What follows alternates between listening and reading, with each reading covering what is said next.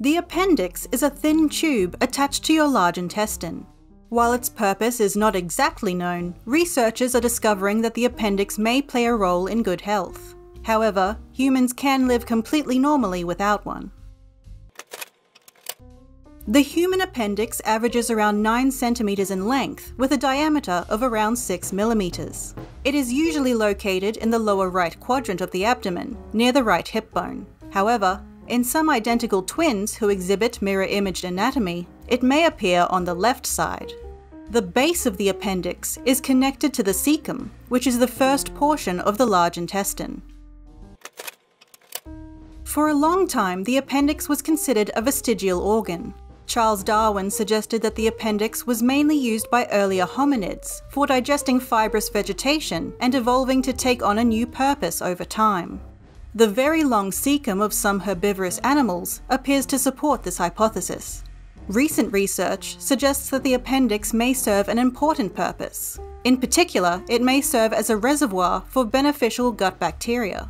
Doctors at Midwestern University explained that recent improved understanding of gut immunity has helped to explain the appendix as being a safe house for symbiotic gut microbes, preserving the flora during times of gastrointestinal infection.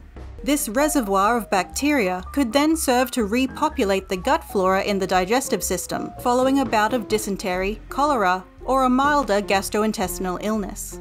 This is particularly beneficial in societies without modern medicine or modern sanitation, where diarrhea may be prevalent.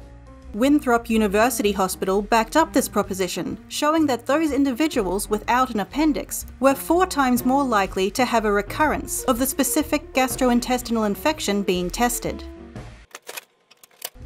The appendix has also been identified as an important component of mammalian mucosal immune function, which provides proper waste removal, regulates pathogens, and may even produce defences that prevent disease.